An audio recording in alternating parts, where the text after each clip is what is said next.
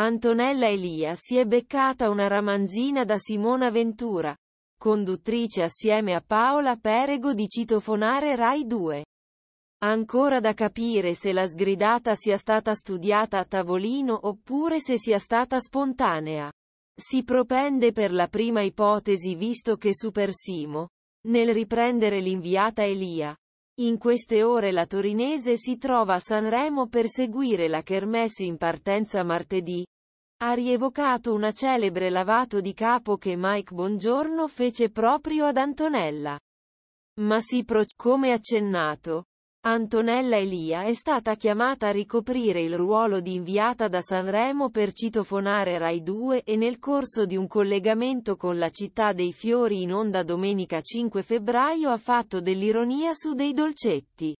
Io adesso ho avuto il picco glicemico per la diretta quindi ho fatto quel che dovevo fare me ne vado a mangiarmi i baci di Sanremo. Boni. Ha dichiarato l'ex valletta della ruota della fortuna. L'avventura l'ha richiamata. No senti Antonella. Ti abbiamo pagato profumatamente e tu non puoi sfottere lo sponsor. Per cui adesso stai lì con un sacco di ospiti. Devi fare le interviste. Mi sa che hai una grande esclusiva in mezzo al mare dove tu devi buttarti quindi devi lavorare e guadagnarti la pagna. Parole.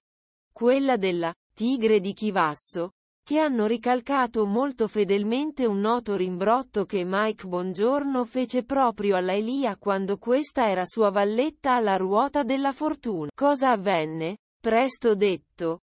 Una concorrente dello show non volle ricevere una pelliccia premio, poiché il dono entrava in conflitto con i valori in cui credeva. La Elia tenne la parte alla concorrente e dopo che ci fu il rifiuto a ricevere il capo di abbigliamento esultò, sottolineando di condividere la scelta di non mettersi nell'armadio la pelliccia.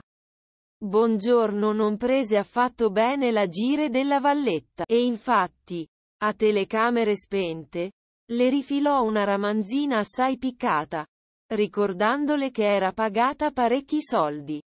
E quei soldi provenivano pure dagli sponsor e dunque anche da chi aveva offerto in premio la pellicola.